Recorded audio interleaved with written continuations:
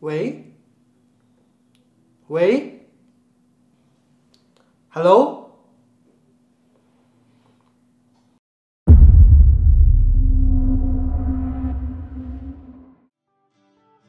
啊，在 confession page 有发生过一个偷拍事件，然后有引起很多在校生的一些争论。呃，我看这个剧本的时候，我猜想应该就是导演觉得这个时代有太多类似的事情发生，所以才想要以这个影片呈现给大家，也算是提醒大众吧。不管发表什么言论或者是评论的时候，都要小心一点，因为可能我们不在意的一句话会伤害到别人。这样子你的你的节奏就是会对。我的心态跟故事里的主角会差不多，会有想要报复的心态。这一次又要自己一个人默默忍受啊！因为其实这个侵犯到个人的隐私。偷拍这件事情啊，我觉得都想是偷啊嘛，偷这个单词是一个非常不好的单词，是贬义词来的，所以肯定是不好的啦。啊，我叫瑞阳，然后我是这个剧组的灯光，还有 super crew。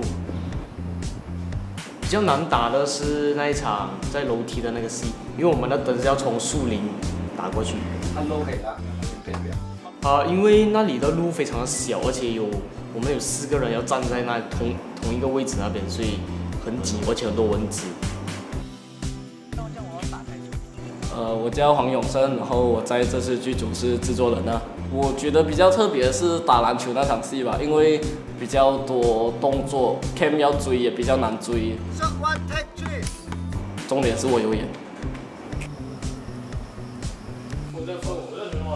呃，我是这次 Anonymous 的导演，我叫 Jack。因为我们这次的整个故事是算蛮长的，可是我们的拍摄天只有两天而已，是有点赶的。可是大致上我是觉得还有一个七十八线的满意度啦，我觉得。呃，我叫 Jason，然后我是这个 Anonymous 剧组的摄影师。技术上面基本上是没有什么比较难的，不过呃，因为我个人比较不熟悉技术啦，OK，我很少做事。你做么？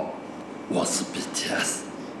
呃，技术上的问题就只是器材上的问题啊。我们用的器材也不会多啊，只是因为我平时没有做什么摄影师的经验很少，所以我对这些器材不熟悉，这只是可能会导致一些 delay 这样。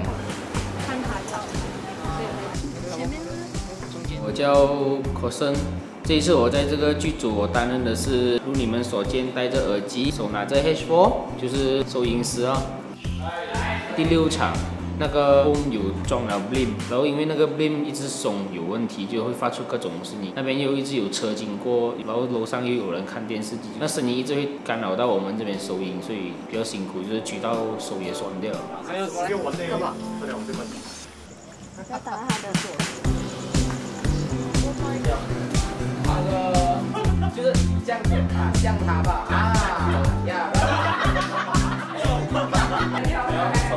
嘉宏不要走，嘉宏不要走。走啊！哎，世界上很多很多的纠纷，很多很多的不和平，很多多的乱，都是因为一些小小的舆论啊，小小的举动啊，可能偷拍你觉得不会怎样，可是那也知道就变成一个杀人案件，谁知道？